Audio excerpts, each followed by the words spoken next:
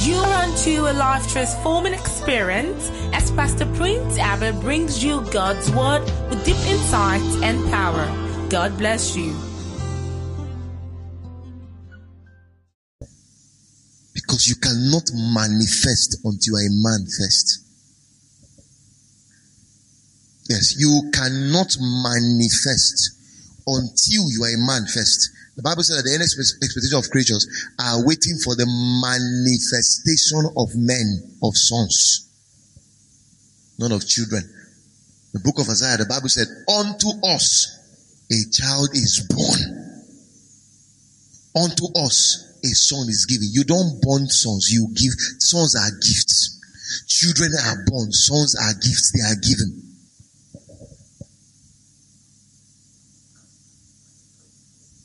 Children are born, sons are grown. They are gifts.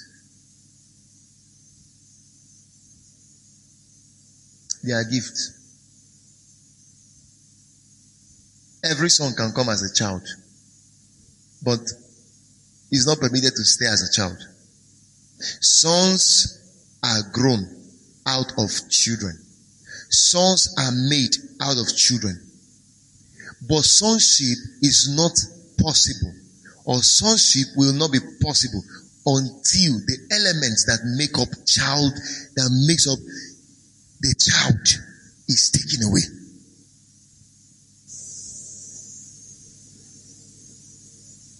There's nothing wrong with starting as a child, yes.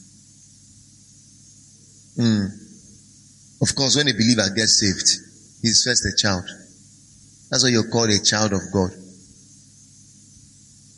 I'm not a child of God, I'm a son of God. There's a difference between a child of God and a son of God. Big difference. Big difference.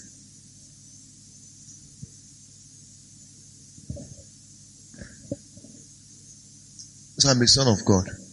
But I was one time a child of God. I wasn't like this before. No, I wasn't. I had to do away with childish things to become this. It's not something you do unconsciously. It's something that must be done consciously. Look, can I say something to you? There's a man trapped inside of you that you have not yet discovered. There's a woman on your inside. The day you find it out, girlishness will die. Bomb boy will die.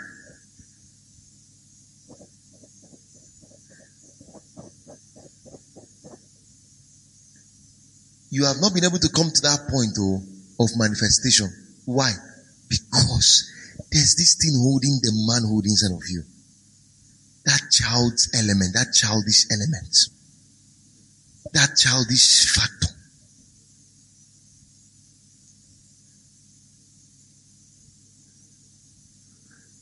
There is this Igbo adage my father used to tell me. He said, when a man, when a child washes his hand well, what does he do? He is with the elders.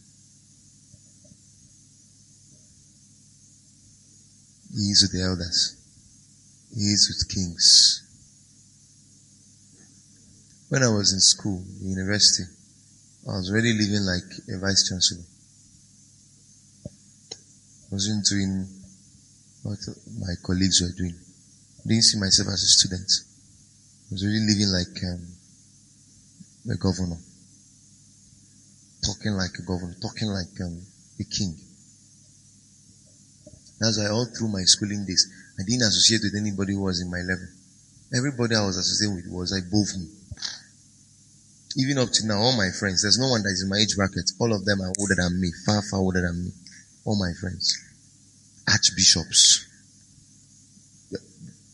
Men who, of substance. Men of might. No one is in my age bracket. I don't know one who is in my age bracket. All of them are older than me. I don't know why. Everybody I've ever related with older than me. I don't know why. I don't know why. No one had. I don't know why. But I found out that that is what has grown me. Because you become like the company around you. you reflect the traits of the company you keep. So right from time, I found out that people can hardly tell. Okay, look at Jesus. 12 years old guy. But he was dining with professors of his time at the age of 12. If you go to Lagos Business School now, for instance, and you sit down in the same class or conference room with Mike Adenuga, Dangote, Jimo, and the rest of them, the Adetolas and all of those guys, those big shots in the world of business. If you sit there, won't they see a boy in their presence? Or will they see a man? Do you know I don't need to have 10 million in the account? There are places I go to and I sit down there.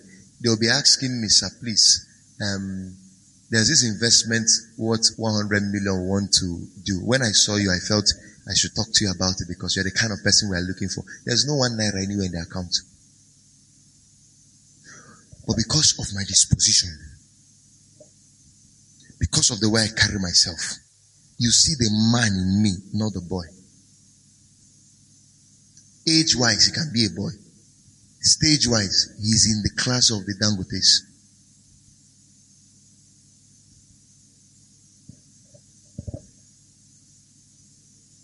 You will not be able to pastor people until you become a man. Go and mark this thing. Go and mark it. Go and mark it. You will not be able to lead people until you are ahead of them. Leadership is not a position. Pastoring has nothing to do with the position. Or it has nothing to do with the office. It has a lot to do with you, you, with you, with you, with you. Your level of growth. If you are still in the class of the people, you are a gunner. Not a national fan, no. You are a gunner. Woe unto you if you are in a place of kingship and you still behave like a child. Every other person in church. Eh, eh, eh, and you too, you follow them. Pastor. Come to the office, your staff, you're eating up. You too, you join there. Give me one, uh, give me one up. You are if you don't have that differentiating factor, whenever you step into a place, they know pastor has come. A man has just appeared. If you don't have it, you are a, you are a finished pastor. You won't compare followership. They talk like children. You follow and talk like children. They sit down to gossip. You follow them too. I've seen a couple of things or in ministry. I think there was one time we finished one leadership breakfast or something. And somebody who is in the pastoring team children in church were, I'm not, I don't mean children in children's class or children's church. I mean children in congregation, the adults, adult children, hmm, were somewhere eating rice and pap or beans and pap. I've not eaten since morning. Him too, he staggered. Went and found food from the office. he was so let me follow you. And he was eating. With them, you are finished. Have you wondered why is it that when you go to special occasions, you see all those big men on the high table? They don't eat. You finish the occasion, they prefer to take it out, take it back home. Have you gone for a big occasion? You saw governor on the high table. nah, man. And he's tearing the chicken and drinking the wine. That's a fool. Didn't that happen? Kingship has a lifestyle. Pastoring is a call to kingship. Leadership is a call to kingship. You cannot do everything. You can't do what others. The Bible says all things are lawful, but not all things are expedient. Others can do it and get away with it, but not you. Others can dress anyhow and get away with it, not you again. Because leadership is a call to model people. When you take on leadership position or a leadership function, understand you are not there for yourself. You're not there to do what you want. You're there to model people's life. That's where discipline comes in.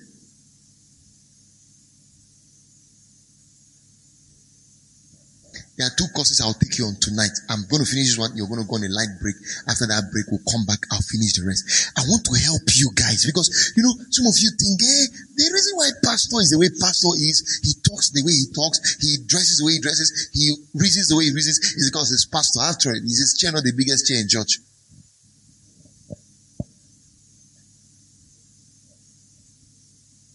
That's the truth.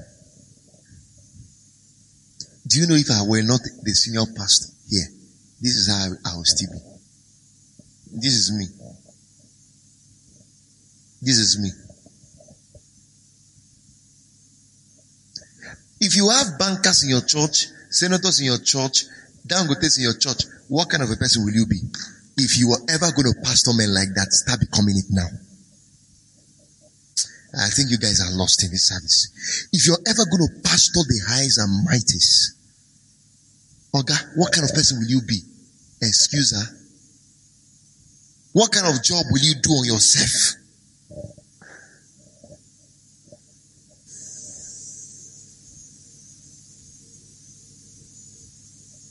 There's a woman who is pastoring a governor in this part of the world. Not just governor, members of the government house.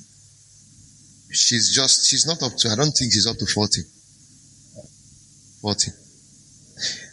What substance does she carry? Uh, okay, check her protocol team. Is men who are in her protocol. She has men in her church, local government chairman, commissioners, cabinet, all that. People who work in the federal parastatal. And they come to her church and sit down. And she can boldly lay hands on them and pray for them can lay hands on the governor.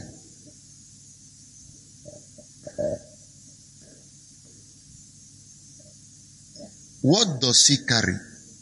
Get it all. What does she carry that makes those men submit? Do you know what makes them submit under your leadership? Is that they see you ahead of them. When they look at you and see you guys are at the same level, school. You are rubbing shoulder to shoulder. You talk the same way they talk. You act the same. Then there's nothing to look up to. When people cannot find something to look up to in you as a pastor or as a leader,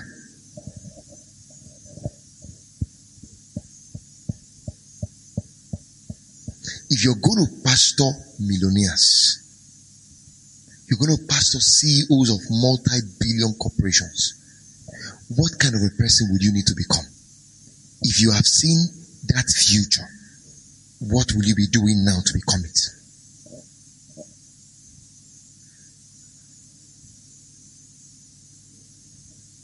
So what are those things that make up a child? Let's, let's, let's, let's look at, it, at them very quickly. There are seven of them I'm going to show you quickly and I'll close this session.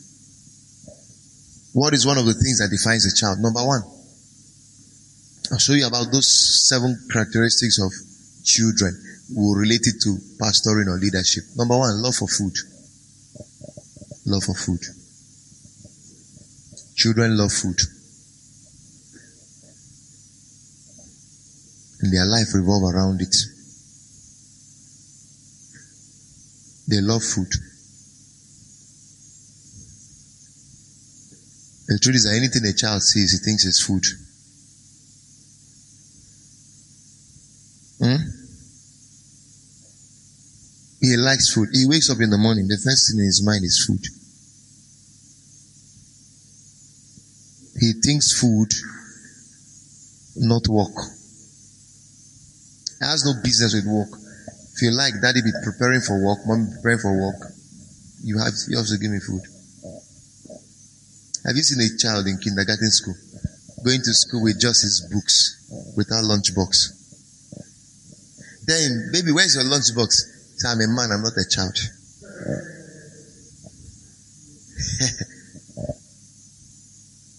hmm? I run school, I understand I'm talking. In our school, one time, in the pre-nursery class, discovered children don't come to school with books. They don't come to school with writing materials. They don't come to school with anything. You know how they come to school with lunchbox. They must bring lunchbox to school.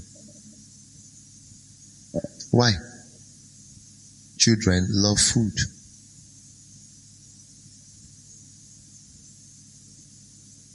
And the truth is that they love food to a point that everything you put in their hand, they think is food. So put pen in their hand now. The next place it goes to mouth. Put remote control. It goes to the mouth. Give them paper. It goes to the mouth. Give them, have you seen a mother? Junior, don't put that money in your mouth. Drops it. The next minute, it goes back. They love food.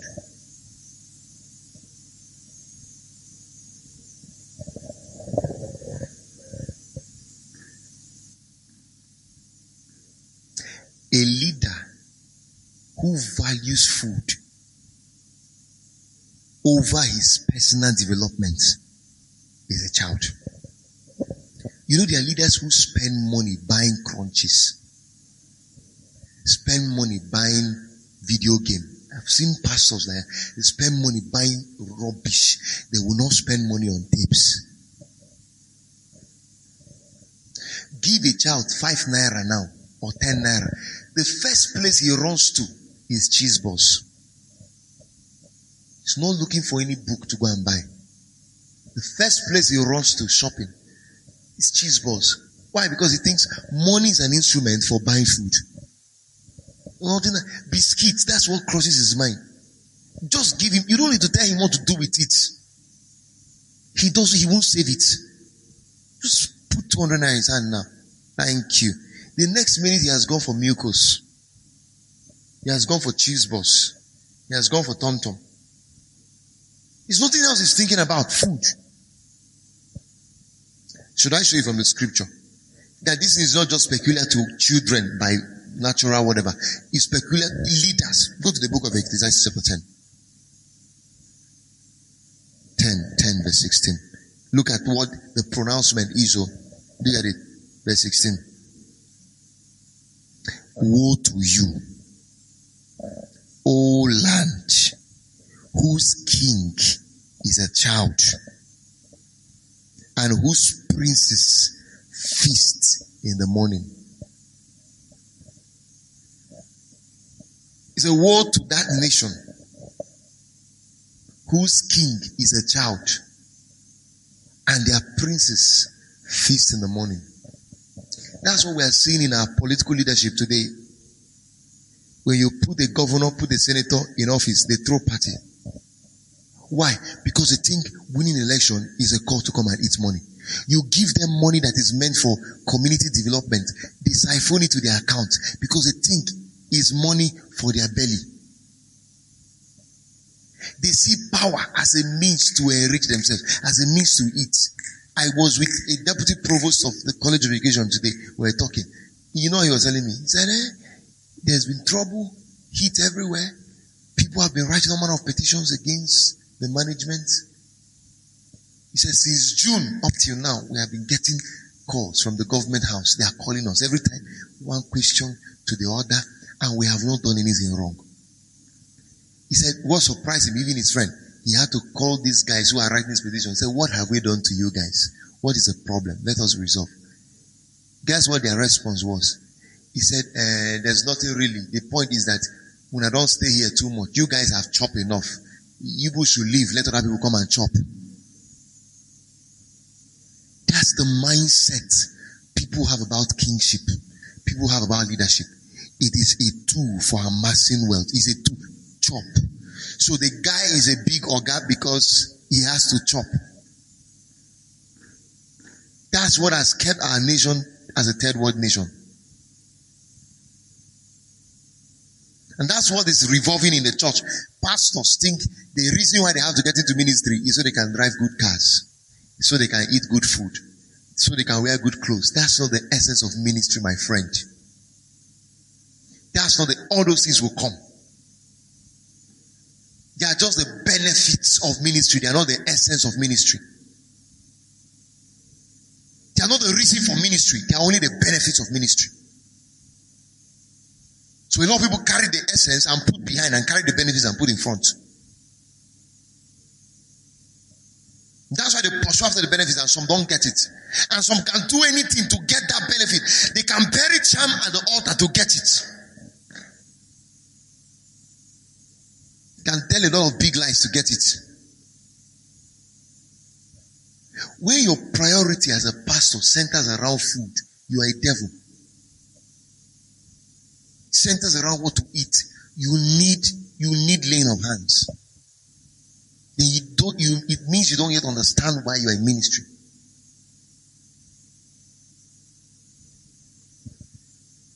When your value for food is more than your value for books, you are a child. When your value for food is more than your value for the world, you are a child. Because that was what killed Adam. Full grown in age, but couldn't resist the sight of food. Can you see how I'm dead to food? I just came back from hungry. Oh, I was driving when I went to pick her, coming to church. She kept, where, where are you eating? Let's find somewhere I eat. I said, leave that food thing. I just drove to the office, just laid down to rest. I was feeling hungry. But there were other things find me. And that minute, you are with me, you think I hate you. Think I have a problem with you. I don't have a problem with you. There's something I'm, something I'm more concerned about. How do we preach this gospel with style? How do we invade nation? Look at the whole of this city. God, there's nobody doing ministry there. How can I get Elijah to see how he can take that nation?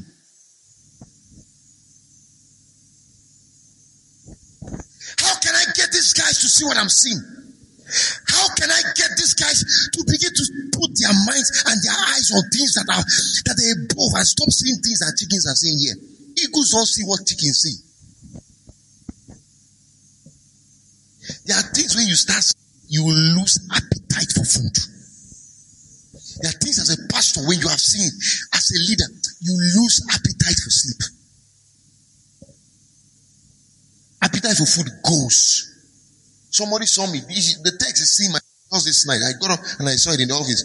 The person, hey, Pastor, you look so worn out and stressed. Are you resting at all? Have you eaten? My daughter in the choir. She saw me. I stopped, wind down the car. She was like, ah, Good evening, Pastor. I said, Okay, you guys all your eyes. Yes, you're going home. Yes, good night. I didn't know she was taking note of me. Said, Pastor, you look better than this. You are worn out. You're slim. Look at your face. I say, you won't understand. It's what I'm seeing. And I know sometimes food, the appetite goes. Appetite for sleep, it goes. Some of, so there's nothing driving you. Your destiny has been sacrificed on an altar of, of porridge. Look at the whole big vision God gave Adam. The whole big garden God gave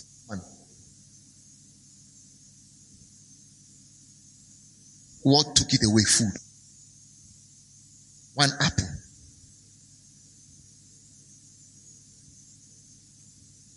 The first place the devil tempts you in ministry is your, your belly, your belly.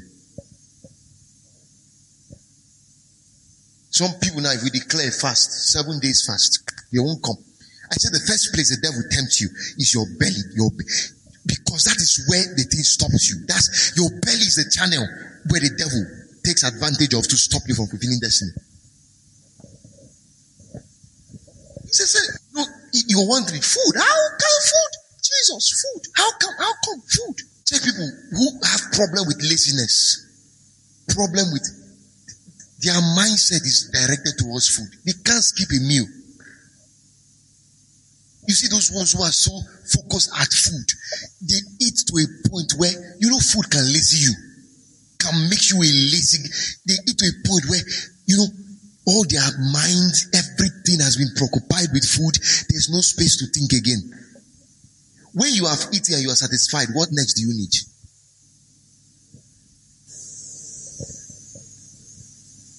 What else do you need? What else? What, what else are you hungry for?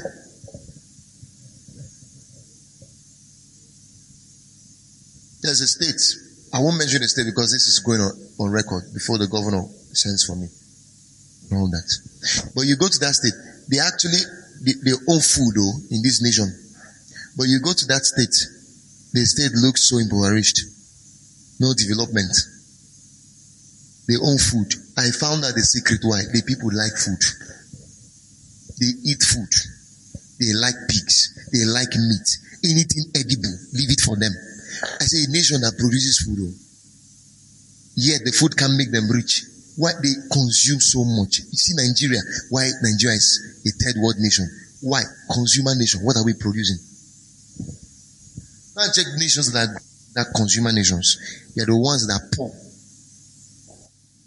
They have so much of resources, oh, but they consume too much. In fact, they export it and buy it again because they consume. So what they sold to you, they come back to you and buy it from you so they can keep consuming. They don't have what it takes to process it. They give it to you, process our tomatoes, buy it again, no problems. They consume. And it took a whole garden out of a man. Just one apple. A whole garden. Why? Pastor.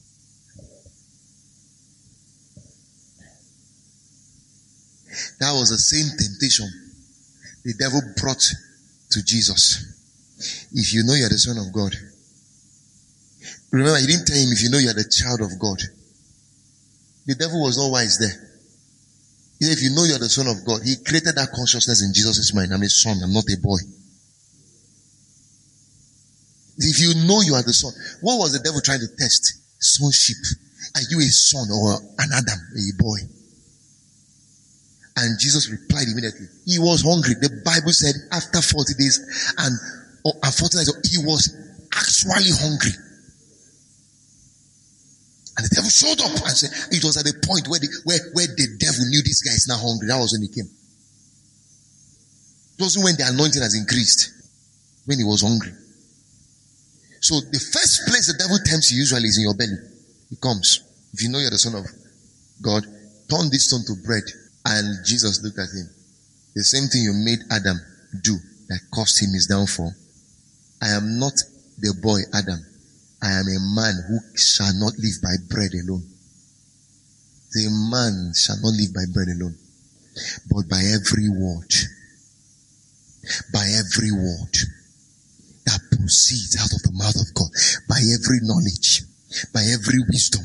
By every study. By every devotion by every training. Okay, look at Esau. What is porridge compared to birthright? I'm going to talk to you some other time about the mystery of food. The mystery of food. So you understand what food is doing to a lot of people. I want to ask you a question. Why is it that in this country or in some parts of the world, you have more eateries than libraries? I want to ask you, please, you don't understand what the devil is doing. You see food. You see food. Leaders need to eat, oh, but the way they eat is not the way children eat. Leaders eat for strength.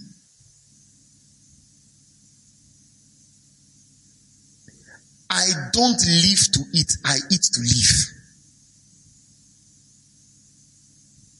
That's the reason I eat.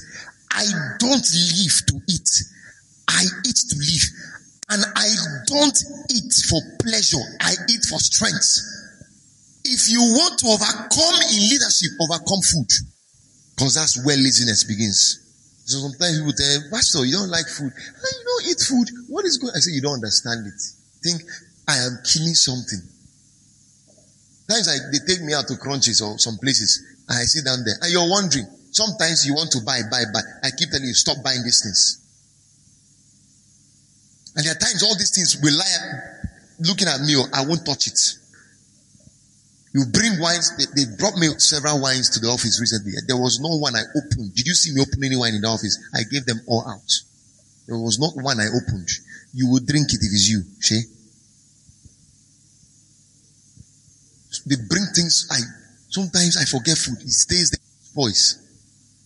Sometimes they cook for me in the house. I come, just come take my bath, get away. You come back and find that food spoiled. And you just end up throwing it away. What was that thing that Esau What, what, what was that thing about Esau that made him sell a whole birthright for food, plate of porridge? There was not even yam inside, not porridge yam, just porridge. Just porridge, no yam inside, porridge. I would have said, okay, at least let's, it was worth it somehow. Just porridge, stew. Jacob gave you the porridge and kept the yam inside. He didn't give you yam. Maybe there was no fish inside, just porridge. And you gave away destiny.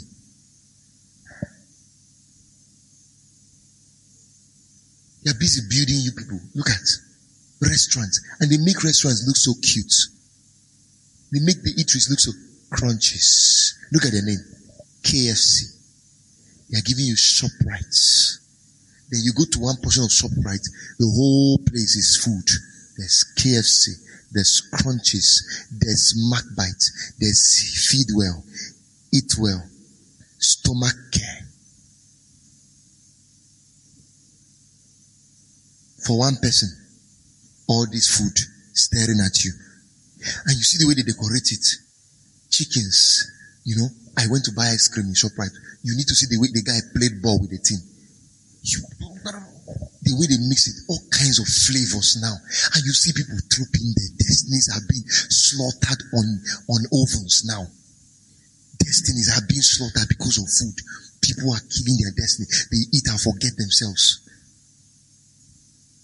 Because when you are finished eating, the next thing is, uh, what else? Woe to that nation whose child or whose king is a child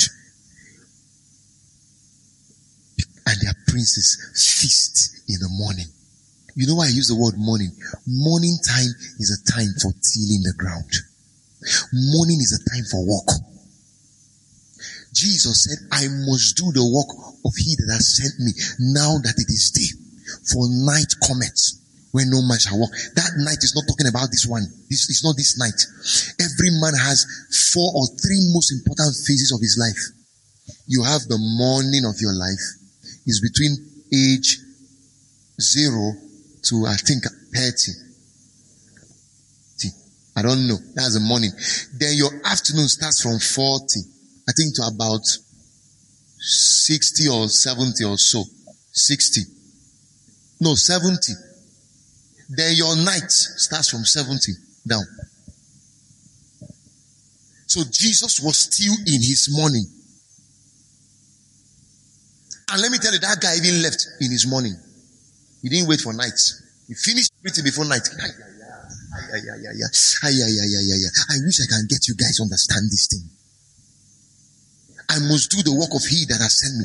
Now that it is day, he was in his morning. He died at the age of, he exited at the age of 33. That was his morning time. That's when productivity is high. That early morning, that's when your head, in the night, maybe you just slept in the night, got up, your head is sharp. You go to big companies like Shells Banks and all that, then when they serve you coffee, because that time your hormones are just busting. All your hormones, your intelligence hormones, and all of that, your creativity hormones, you can think. That's why I don't play with my morning time. People who are calling me, Pastor, I want to go and say, check every appointment I've given people. It starts from afternoon. I don't play with my morning time. That's when I organize my life, organize my day. They want to see me, Pastor, can I see you at nine o'clock, ten o'clock? Usually it's hard, except it's something that is very, very urgent, an emergency I can allow.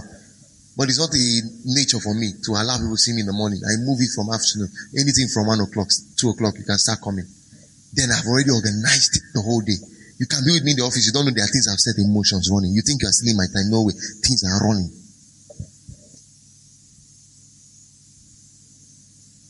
So Esau could sacrifice that destiny, that destiny for a plate of porridge. Plate of porridge. He gave it up. Food. Okay. What was it about Daniel? When they said, give them the best of the king's food.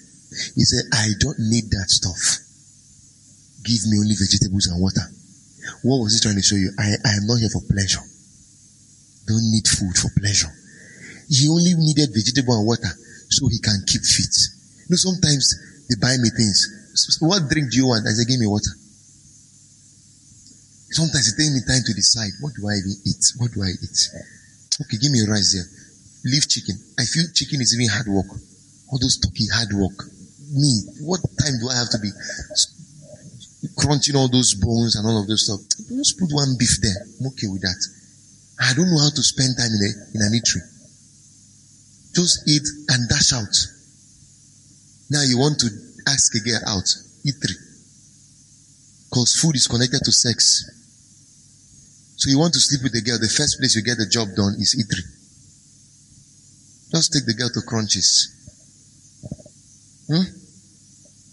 When you are done with the stuff, done with eating and drinking, automatically the girl's heart opens, the guy's heart opens, and the next thing is the other way. You know, food links up to sex. The Bible said Esau was a fornicator. Yeah, we didn't see where he committed one. How? You can trace sex to food. They have the same thing, is linked, is interlinked. Any man who cannot control appetite for food, go and check him. He has a high tendency for sex. Start dealing with that food appetite. Gradually starts taking care of the other one.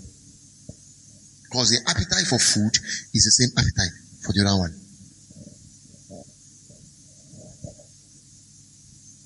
That's why there are a lot of pastors with addiction problems. Same pastors who cannot live life free until they can't do anything until they have masturbated. They can't. You know their food that stirs your semen. Their food you eat now, they work on your semen. You start having excessive semens. Yes, there are food that does it. It starts awakening some hormones in you. Sexual hormones.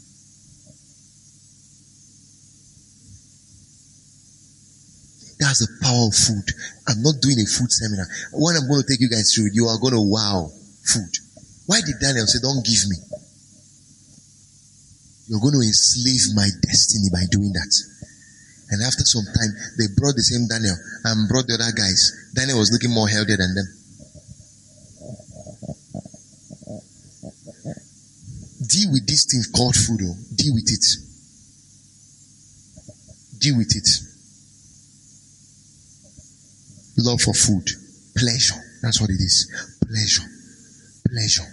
Anything that gratifies, that makes the body happy. You will like it. You will not be an effective. Let's leave it there. And the child. That's why you see, as I, as I, this family shooting, my children, my friend, listen, my house, my children's room is going to be stocked with food. Sorry, stocked with books than food and toys. I'm telling you. Parents are doing with their children now is right. Not everything. The devil is very, very, he can be good at being smart sometimes. It's not everything you see parents doing with their children now that is right. My children will not die if I don't take them to amusement park. They won't die. Can take them there twice a year. The rest of the year, sit down there and read. You won't die.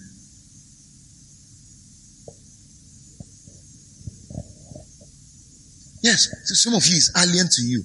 You are looking at me, pastor, because you think everything that is popular is proper. Because you went to amusement park and saw children at and they are playing. Go and check those children. I'm not saying recreation is though, but I will do that recreation when it's needful. I'm not saying all those peer mingling and all that is bad. No, it's not. Don't misquote me. But you have to watch it. Too much of it will kill those children. You buy telly, you come into their room, it's telly everywhere, TV, cartoon, and in your mind, hi, they are living good life. Give those children time. The devil has stolen something from them. You don't know. And parents are the ones killing them the more. Those children will grow up, oh, olo those fools. Children who can't handle issues in life. Those are the ones who grow up. They breastfeed them. Their mothers over pamper them. They end up with what you call the mother's wound. Over guidance, over everything. At A full grown man, he has graduated from school, gotten a job. At his level, mommy is still calling him, Nah, you know, have you eaten something? Come to the house, have you eaten? Da, da, da. He's still spoon feeding you. For the continuation of this message, please play the next track.